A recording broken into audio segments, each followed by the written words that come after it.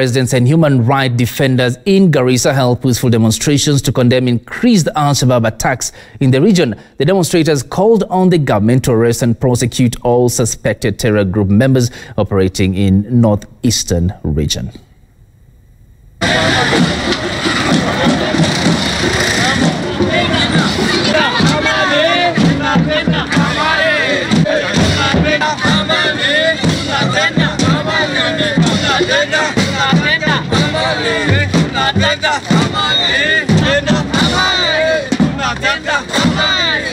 Nahuzunika walimu wanamalizwa, ninahuzunika watoto wanamalizwa bila sababu, na hatuwezi kubali kutofautisha sisi na Wakenya wengine, tuko kibinadamu kimoja. Ninaunga mkono maoni ya wasee wa Garissa kuhusu hii uandui ukomeshwe, na hii uandui ukikomeshwa, nyinyi wasee wa Garissa, vijana wa Garissa, wazee, toeni hawa watu wame, wako miongoni mwenyu, muwalete hapa nje na mkiwalete tutasaidiana na nyinyi kuwazuia ili wasifanye shambulishi. Sisi tunataka kupatia idhini kamili serikali yetu ya kwamba ichukue hatua yoyote ya amani ya kuleta hawa wagaidi Ntubuku, waletwe, serikali itumie nguvu yake yote na wananchi tushikane na hao.